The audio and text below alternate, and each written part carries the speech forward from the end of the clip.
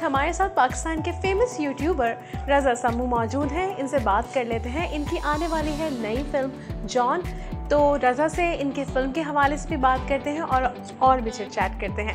चलते हैं रज़ा के पास। कैसे हैं रज़ा? अल्लाह का करम बिल्कुल ठीक ठाक। फ़िल्म आ रही है एक्साइटेड हूँ बस अच्छा रज़ा ये बताइएगा कि यूट्यूब से जॉन तक का सफ़र कैसा रहा? ये इस तरह से हुआ कि यूट्यूब पर मैं वीडियोस तो बनाता था। डायरेक्टर से भी मैंने ये सवाल किया है कि आपने मुझे क्यों कंसिडर किया? तो उसका जवाब, वही जवाब होगा कि ई सेट के मैं, मुझे जो, मेरा जो करेक्टर था फजल उसके लिए तुम सही फिट नज़र आ रहे थे। प्लस मैंने अपनी एक्टिंग की जो स्किल्स है थ्रू यूट्यूब वीडियोस वो शो कर दी थी। और एक डायरेक्टर की तो ऑब्वियसली एक आँख होती है, वो देख लेता है। तो दैट्स हाउ ही चोज़ में तो ये सफ़र ऐसे ही अचानक से एक ऑफ़र आ गई।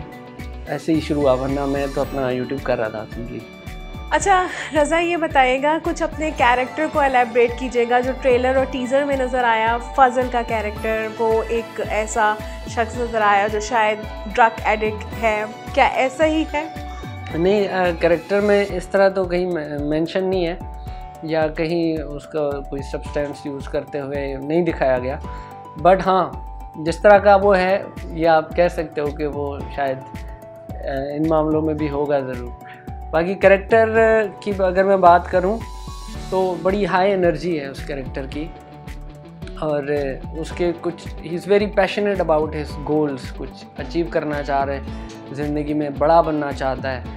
और यह है कि नेगेटिव करेक्टर है इंटेंशंस अच्छी नहीं है, और, लेकिन यह है कि कॉमिक रिलीफ भी प्रोवाइड कर रहा है, ऐसा नहीं कि सिर्फ़ सीरियस एक करेक्टर है। ये कॉमिक ख़ास तौर पे कॉमिक रिलीफ के लिए इसको, इस पज़ल के अंदर अच्छा इसको पीस बना के रखा गया है। तो इसके बड़े मोटिव्स हैं, ज़्यादा मैं स्पॉइल नहीं करना चाहूँगा।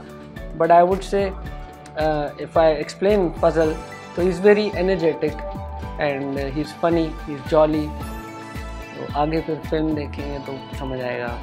क्या आपने इस कैरेक्टर को प्ले करने के लिए बॉडी ट्रांसफॉर्मेशन पे भी काम किया? वेट रिड्यूस जो था, वो इसके लिए नहीं था वेट पुट ऑन इसके लिए ज़रूर था। इस कैरेक्टर के लिए मैंने बढ़ाया था टेन के जी ऑलमोस्ट बढ़ाया था मैंने। बाल भी बढ़ाए थे, दाढ़ी भी बनाई थी तो एक प्रॉपर लुक इसका मैं रख, रखा था। और वो मेरी तरफ़ से था मतलब डायरेक्टर डिडेंट टेल मी वो बाबर का ये कहना था कि जब वापस आओगे कराची तो हम लुक का देख लेंगे। बट मीन वाइल में जब तैयारी कर रहा था, क्योंकि मुझे स्क्रिप्ट बहुत पहले से मिल चुका था। वर्कशॉप्स का भी मैं बहुत पहले से हिस्सा था। तो मैं अपने उस करेक्टर पे काम करता जा रहा था बैक एंड पे। तो ये मुझे बस लगा कि इस तरह की इसकी लुक होनी चाहिए। इसके बाल ऐसे होने चाहिए और इस तरह की इसका एटीट्यूड होना चाहिए। वापस जब मैं आया था तो मेरा लुक टेस्ट जब हुआ था तो उनका था, यही है जो आप बना के आए हैं, यही डन है। तो मुझमें ज़्यादा चेंजेस नहीं हुई। उन्होंने वही डन कर दिया था। तो this this is why I put on the weight सही। अच्छा ये बताएँ कि यूट्यूब और फ़िल्म ये दोनों बेसिकली तो मीडियम्स हैं लेकिन इन दोनों का आप क्या कंपैरिजन करेंगे? बिकॉज़ आपका स्टार्ट यूट्यूब से हुआ। uh, बड़ा डिफरेंट है दोनों का एक्सपीरियंस uh, दोनों के अपने अपने चैलेंजेस हैं दोनों की अपनी साइंस ही अपनी अलग है। दोनों आर्ट के फॉर्म्स हैं मीडिया के फॉर्म्स होंगे लेकिन इनका स्टाइल बहुत अलग है। यूट्यूब पे आपको पाँच मिनट दस मिनट की वीडियो पे काम करना होता है। उसकी अपनी मेहनत होती है और ज़्यादा करना होता है। आ, और सेम टाइम अगर फ़िल्म का देखा जाए तो ये बड़ा लंबा प्रोसेस है। इसके पीछे प्री प्रोडक्शन जाएगी प्रोडक्शन जाएगी पोस्ट जाएगी तो बड़ा और इसमें लोग भी बहुत ज़्यादा इन्वॉल्व हैं। तो ये चीज़ें इसको ये एक मैसिव स्केल पे की जा रही है फ़िल्म मेकिंग जो है। वो आप इंडिविजुअल लेवल पे भी चला सकते हो बढ़ा भी सकते हो ऑफ़ कोर्स बट वो जो है ऐसा नहीं कहूँगा उसका स्केल कम है बट डिफरेंट स्केल्स हैं दोनों के। बचपन से नॉर्मली जो एक्टिंग में आते हैं तो उनको शौक होता है अदाकारी का। तो क्या आपको भी ऐसा ही शौक था? आ, ये अक्सर लोगों का जवाब होता है हाँ मुझे बचपन से ही शौक था ऐसे पता नहीं चलता।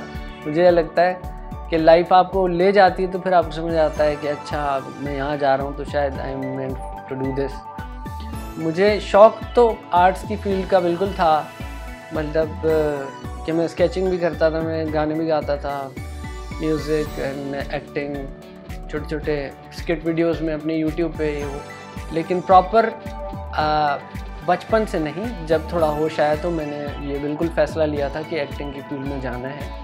और वो मेरा एक शुरू से पैशन रहा है। और इसके बाद जर्नी होगी डायरेक्शन की लेकिन उसके लिए बहुत टाइम है पहले मैं सीखना चाहता हूँ। सही।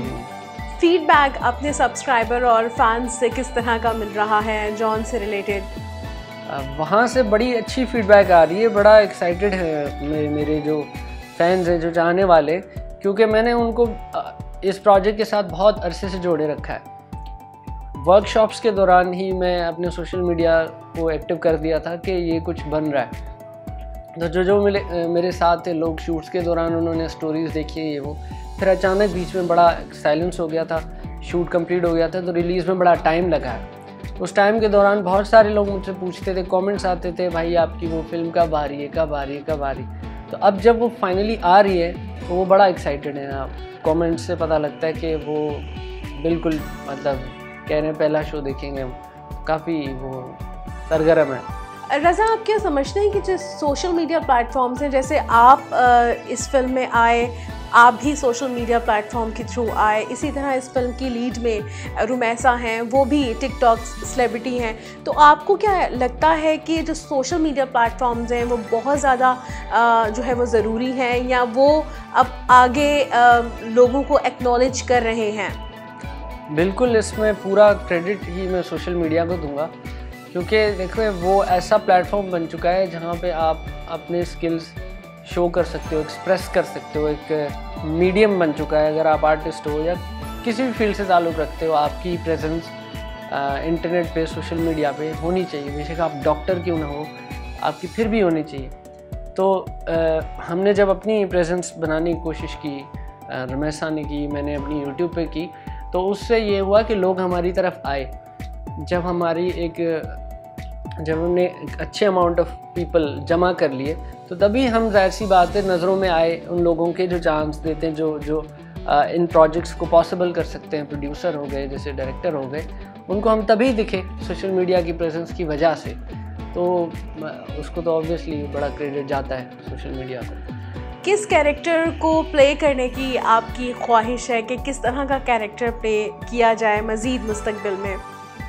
हीरो शीरो प्ले करने का बिल्कुल है, शौक़ है और बॉडी पे भी इसलिए काम करूँगा। अभी तो कुछ भी नहीं है इरेगुलर हूँ बहुत। बट यस लीड में बेसिकली लीड में आने का है क्रेज़ है। कि स्टोरी ड्राइव कर रहा हो करेक्टर में लीड प्रोटॉगनिस्ट चाहिए। ज़रूरी नहीं है कि हीरो चाहिए, जैसे हीरो की एक हमारी बनी हुई है ना कि वो लड़की को भी वही बचाएगा, गुंडों से, और बदला भी वही लेगा।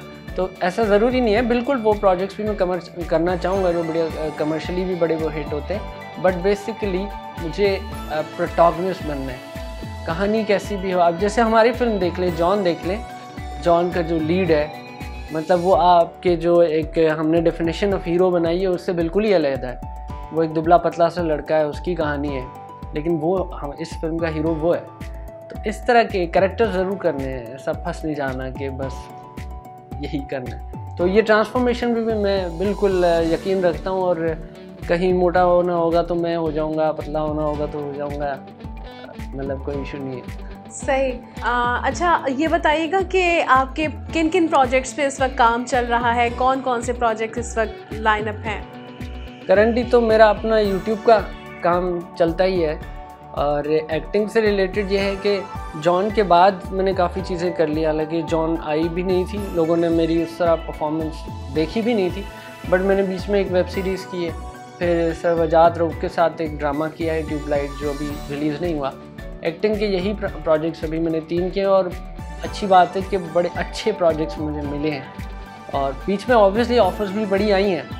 लेकिन मेरा ये है कि मैं जो प्रोजेक्ट चूज़ करूँ वो अच्छा होना चाहिए।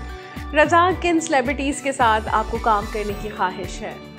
ख्वाहिश बहुत सारे लोग हैं। पाकिस्तानी बहुत अच्छे फ़िल्म मेकर्स हैं उनके साथ है। एक्टर एक्ट्रेसेस एक्टर एक्ट्रेसेस वो तो मैंने उस डायरेक्शन से देखा नहीं मैं तो डायरेक्टर की नज़र से देख रहा था। एक्टर एक्ट्रेसेस तो I would love to work with Sajal Ali she's a very respectable name in this industry Thank you so much. thank you